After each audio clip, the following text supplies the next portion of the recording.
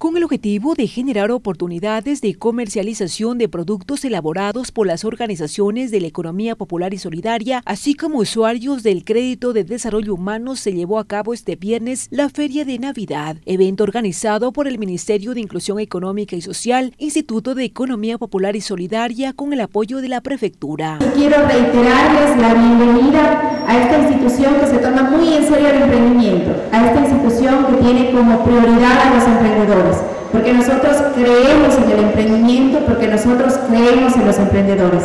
Bienvenidos. Eh, confirmamos nuestro compromiso de seguirlos apoyando y les deseamos el mayor de los éxitos, que la venta de productos hoy sea eh, un puntal fundamental para la economía tanto de sus hogares como de sus asociaciones y de sus emprendimientos. 18 emprendedores de la provincia de Loja formaron parte de este evento que está orientado a la dinamización económica de este sector productivo post-pandemia, quienes demostraron sus habilidades en las áreas de manualidades, artesanías, bisutería, productos de valor agregado y otros artículos.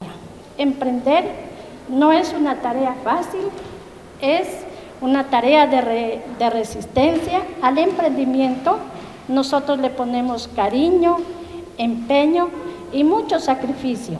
He aquí José Ordóñez, coordinador zonal 7 del MIES, en su intervención hizo alusión a los créditos de desarrollo humano que impulsa el Ministerio de Inclusión Económica y Social en miras a la reactivación económica para fortalecer este tejido social. Nosotros hemos transferido a nivel de la zona 7 más de 2.400 créditos de desarrollo humano el día de hoy estamos aquí para ratificar nuestro compromiso como Ministerio de Inclusión Económica y Social de apoyar lo que denominamos la inclusión económica y con eso también fomentar la posibilidad de una movilidad social ascendente.